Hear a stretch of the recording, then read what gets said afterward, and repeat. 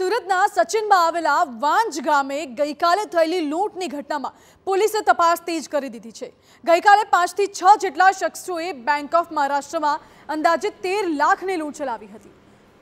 જે બાઇક લઈને આરોપી લૂંટ કરવા આવ્યા હતા, તે બંને બાઇક પોલીસે જપ્ત કરી લીધી છે. બંને બાઇક ચોરીની હોવાનો ખુલાસો થયો છે.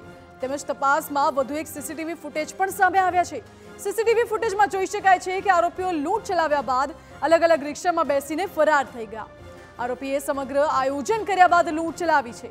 આરોપી લૂંટ ચલાવ્યા બાદ પાંડેસરાથી સ્ટેશન તરફ અલગ અલગ રિક્ષામાં બેસીને ભાગી ગયા, જેથી કોઈને શક ન જાય. પરંતુ સીસીટીવીમાં આરોપીની હલચલ કેદ થઈ ગઈ છે. ઉલ્લેખનીય છે કે ગઈકાલની ચોરીના સીસીટીવી પણ સામે આવ્યા હતા કે કઈ રીતે આ શખ્સોએ સચિન વિસ્તારના વાંજ ગામે ફિલ્મી ઢબે બેંક ઓફ મહારાષ્ટ્રમાં લૂંટ ચલાવી. ગઈકાલે સવારે સાડા અગિયાર વાગ્યાની આસપાસ પાંચ જેટલા બુકાનીધારી શખ્સો બેંક ઓફ મહારાષ્ટ્રમાં બંદૂકની અણીએ ચૌદ લાખની લૂંટ ચલાવી ફરાર થઈ ગયા.